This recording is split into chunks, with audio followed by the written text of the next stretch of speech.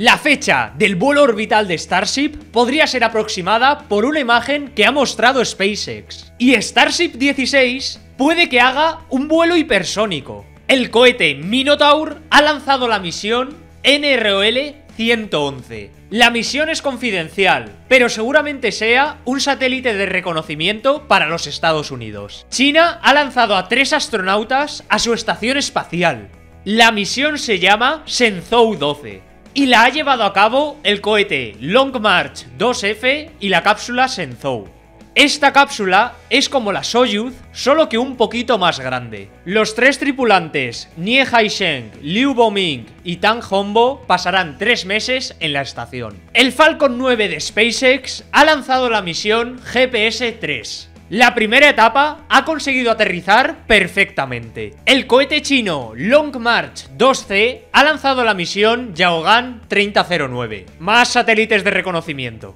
El 25 de junio puede que Rusia lance la misión Pion NKS-1. Básicamente, el cohete Soyuz 2.1B lanzará más satélites de reconocimiento. El 25 de junio, SpaceX va a lanzar la misión Transporter 2 a bordo de su Falcon 9. Es una misión en la que lanzarán un montón de satélites de varias empresas. Y el 28 de junio puede que Virgin Orbit lance la misión Tubular Bells a bordo de su Launcher 1. El cohete va a lanzar varios satélites de distintos departamentos de defensa y empresas. La NASA ha ensamblado la etapa central del cohete SLS entre sus dos propulsores sólidos. Con ello terminan la primera etapa del enorme cohete que va a lanzar la cápsula Orion alrededor de la Luna a finales de este año.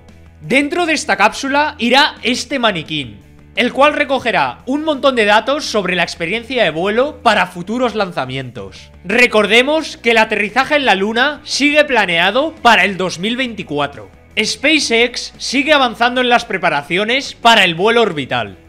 El tanque de prueba BN 2.1 ha sido testeado criogénicamente por segunda vez.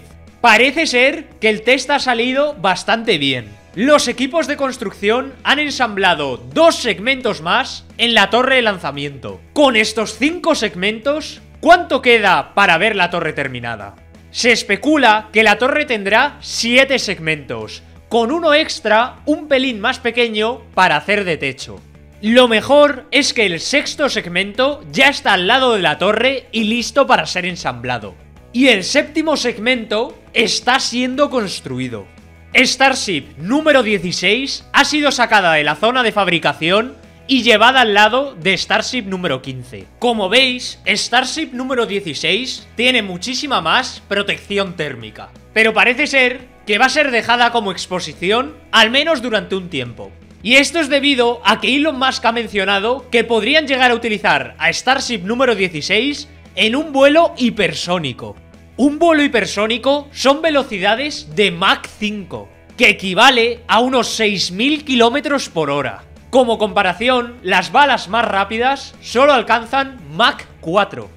Esta velocidad podría ser alcanzada perfectamente por una Starship sin Super Heavy. Esta es la parte de Super Heavy en la que instalarán las aletas de rejilla. ¿Notáis algo raro? A diferencia del Falcon 9, que tiene las aletas en forma de cruz, parece ser que Super Heavy las va a tener de otra manera. Esto podría ayudar a recogerlo durante el aterrizaje. Durante el vídeo del discurso de la presidenta de SpaceX, Gwen Shotwell, se ha dejado ver esta imagen.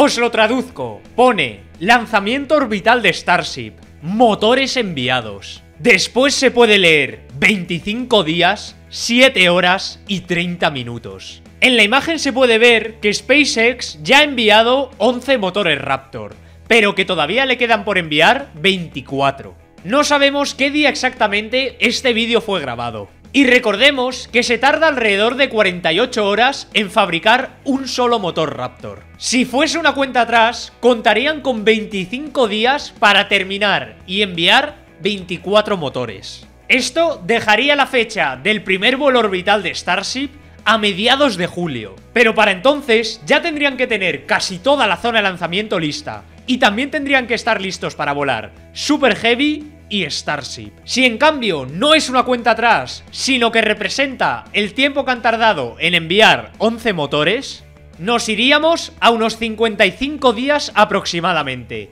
lo cual nos dejaría en agosto. ¿Cuándo creéis que va a volar? Os dejo por último la imagen con todos los prototipos. Muchas gracias por ver el vídeo.